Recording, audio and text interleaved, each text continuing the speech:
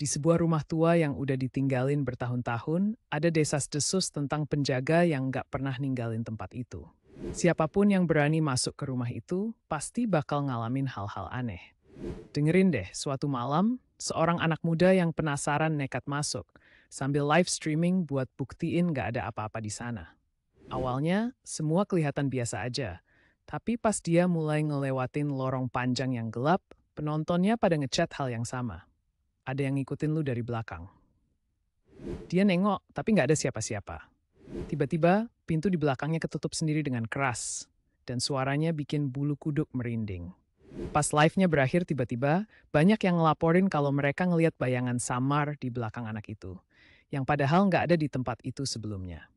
Sampai sekarang, si anak muda itu nggak pernah muncul lagi, dan orang-orang yang nonton videonya mulai ngalamin hal-hal aneh di rumah mereka masing-masing. Siapa sih yang nggak penasaran sama rumah tua di tengah hutan? Rumah ini dulu katanya dihuni satu keluarga bahagia, tapi tiba-tiba mereka pergi tanpa jejak. Kenapa ya? Rumah ini sekarang kosong, terbengkalai, dan ditinggalkan begitu saja. Pohon-pohon besar menutupi sebagian bangunannya, suara angin yang melintas di celah-celah kayu tua bikin suasana makin mencekam. Banyak yang bilang rumah ini penuh misteri. Setiap malam ada suara langkah kaki padahal nggak ada siapa-siapa. Bahkan beberapa orang pernah melihat bayangan di jendela, tapi saat diperiksa, nggak ada orang di sana. Coba kalian komen kalau pernah ngalamin.